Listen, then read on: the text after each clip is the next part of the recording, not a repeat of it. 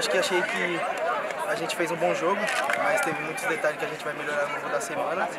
E é isso, vamos pra cima, consegui fazer um gol de pênalti. O goleiro farpou ali, mas não deu pra ele, né? Mas tá ligado.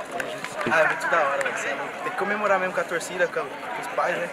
Só Deus sabe a correria deles pra trazer a gente pro jogo. E é isso.